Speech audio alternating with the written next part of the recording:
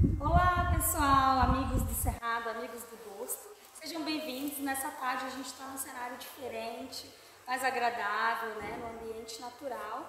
Para quê? Vou ensinar vocês a fazerem uma receita muito fácil, muito deliciosa, que é um docinho de caju do Cerrado. Está iniciando a temporada do cajuzinho no nosso Cerrado e muito provavelmente vocês terão acesso a esse insumo com mais facilidade. Então, o que, que nós vamos precisar nessa receita? A gente vai precisar de um quilo de açúcar, pode ser o açúcar cristal mesmo que você tem em casa com facilidade, ou pode ser o açúcar mascavo que vai ficar até mais saboroso. A gente tem aqui um quilo de cajuzinho do cerrado. É, se você não tiver uma balança de precisão, você pode contar mais ou menos de 100 a 150 unidades de cajuzinhos, tá bom? E a gente vai precisar de um litro de água. Esse meu caju aqui, ele já passou por um branqueamento. Então ele era um caju que estava congelado. Para congelar, a gente coloca para ferver. É, o tempo de fervura da água é o tempo suficiente. Então ferveu a água, tira, escorre o caju e põe para congelar. Se você for usar um caju novo que você acabou de colher, aí você vai ter que fazer essa técnica de branqueamento para depois fazer o doce. E aqui nós temos o que a gente precisa: a água, um litro de água, um quilo de açúcar e um quilo de cajuzinho do cerrado, tá bom? É bem simples. Se você gostar, você pode colocar cravo da Índia para aromatizar a sua receita. Então vamos lá, pessoal. A gente vai colocar aqui é, esse doce é um doce feito na panela de pressão, tá bom? Então nós vamos colocar aqui o nosso caju na nossa panela.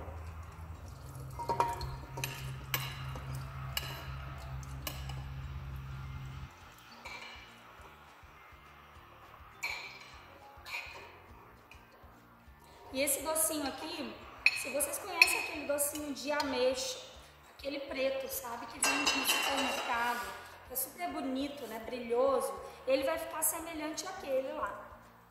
Só que é de cajuzinho do cerrado. Então nós vamos despejar aqui. Temos aqui um quilo de açúcar, tá bom? Eu estou usando aqui o açúcar cristal mesmo.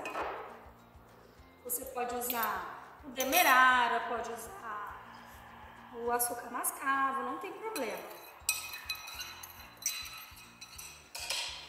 Como eu já tinha dito para vocês, a gente já fez o branqueamento, então nós vamos utilizar aqui um litro de água nessa receita.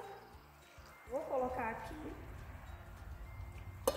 Nós vamos deixar agora cozinhando aproximadamente de uma hora e meia, duas horas no fogo baixo, tá bom? E depois nós vamos abrir a panela para a gente conferir o resultado do nosso doce.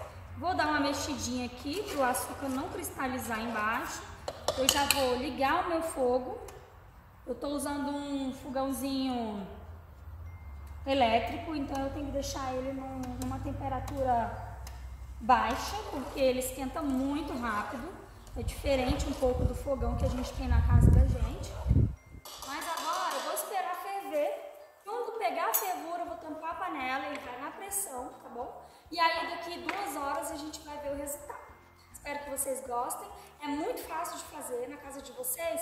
Tem um detalhe que eu esqueci de falar. Quando você colher o cajuzinho, o que, que você vai fazer? Você vai fazer um furinho no meio do, da, do, da fruta. Vou pegar um aqui para vocês verem, tá? Vocês vão fazer um furinho no meio dessa fruta e vão espremer para tirar um pouco do suco que tem dentro da fruta, tá ok? Minha mão tá limpinha, vai voltar para cá, vou dar uma mexida e agora a gente vai esperar ferver. Vou tampar o meu doce e depois eu mostro para vocês o resultado. Fiquem aí, acompanhem. De volta aqui e agora o nosso doce está pronto. Nós vamos abrir a panela e a gente vai ver que lindeza que ficou esse doce. Docinho de cajuzinho do Cerrado. Vocês viram que o nosso cenário mudou um pouquinho, né? O sol já foi embora, a noite chegou e tá linda. E eu acho que vocês vão gostar dessa receita, viu, gente? A gente já tirou a pressão da nossa panela e agora eu vou servir o doce para vocês verem que beleza, assim, que bonito que é o doce. A cor, o sabor vocês não vão ter como experimentar agora, mas eu tenho certeza que vocês vão fazer aí na casa de vocês e vão ter a oportunidade de experimentar esse doce.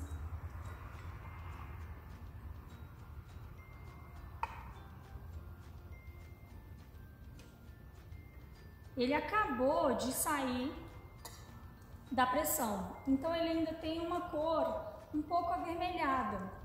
Quando ele esfriar, ele vai ficar ainda mais escuro. Vocês conseguem ver?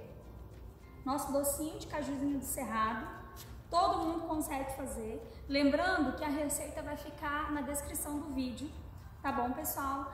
Não se esqueçam de se inscrever no nosso canal, de deixar um joinha pra gente, de compartilhar esse vídeo com outras pessoas e principalmente que a gente possa aproveitar de forma consciente os nossos frutos, os frutos que o nosso cerrado nos dá e para a gente é, fazer receitas para adoçar o nosso dia a dia, para presentear alguém. Uma receita dessa é muito simples, você pode colocar num potinho bonitinho e é um presente maravilhoso para alguém. Eu vou chegar mais próximo para vocês verem a beleza que é esse doce.